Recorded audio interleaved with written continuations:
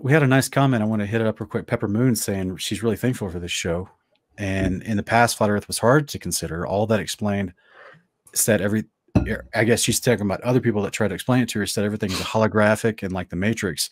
This is a much better breakdown here. Appreciate that, Pepper. I mean, our goal is to show you how real it is. I too have seen those types of channels and videos and explanations you're talking about, and it's very Gnostic.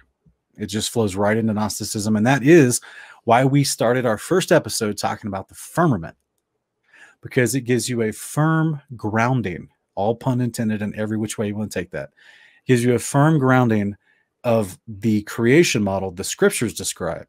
See, what we've run into, or at least Wes, what I've run into in the past five, six years of hearing this topic, and when I became introduced to this topic, the first thing I heard was people disproving that we lived on a ball in space. And that was cool, right? That was mind blowing. It was shattering, yeah. altering, right? Yeah.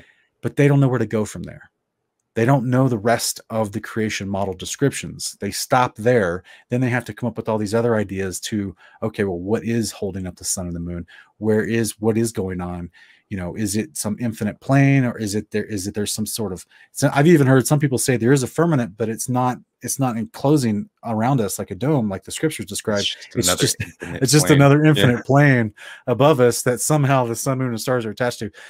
They don't have the answers this is the problem because they've they've taken a piece of what the creator described and they realize that's true but they don't have his word because they weren't believers so then they didn't know where to go to get the rest of the details wes and i decided this was a huge need in this community so we want to give everyone the rest of the details because it's a beautifully succinct story that makes perfect sense with everything in the book as well as everything we can observe test and demonstrate yeah. So yeah, I'll stop preaching. We'll get going. No, you're fine, brother. well said. Well said. Thank you, Miss Pepper Moon. That was uh, a beautiful comment. We appreciate that. That means so much.